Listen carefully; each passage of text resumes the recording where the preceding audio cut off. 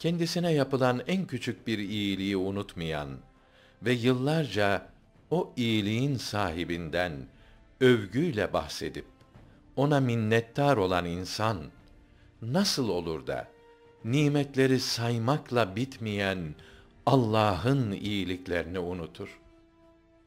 Ve ona karşı minnettar olması gerekirken nasıl olur da o minneti nimetin gelmesine vasıta olan sebeplere verir?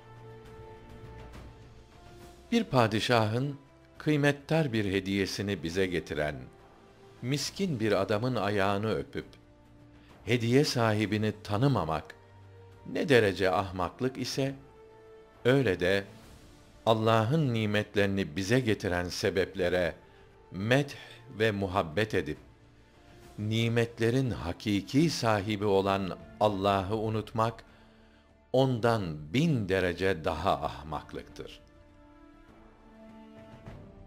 Evet, tavuk sebeptir. Yumurta Allah'ın ihsanıdır. Koyun sebeptir. Süt Allah'ın ikramıdır. Arı sebeptir. Bal Allah'ın nimetidir. Bulut sebeptir.